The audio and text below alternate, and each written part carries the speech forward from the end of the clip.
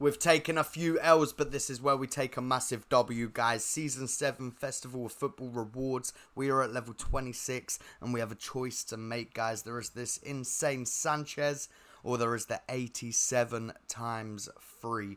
I'm not going to lie to you guys, I'm taking that gamble. I'm not even thinking twice about it. This card, I can imagine, is going to be absolutely insane.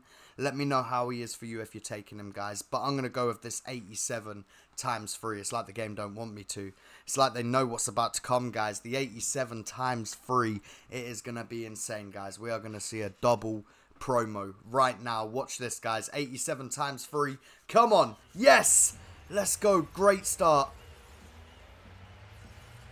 Okay, so it's not a double walkout promo, but either way, very happy with this. I've already seen this now five or six times, but you just can't complain at it, guys, can you? You cannot complain at it. We see the 95. It's got 99 shooting, 97 passing, 93 dribbling, 94 defending, 94 physical, 91 pace. This card is insane. I think he's even been upgraded, guys, and he most likely will see some further upgrades as well. So that is just absolutely insane. We get the Modric in there as well. Happy days, guys. Let me know what you guys get in your packs if you decide to take it. But let me know how that Sanchez is if you decide to take that, guys. I appreciate you watching. Let me know, and I'll catch you in the next video, guys. Peace out. Peace out.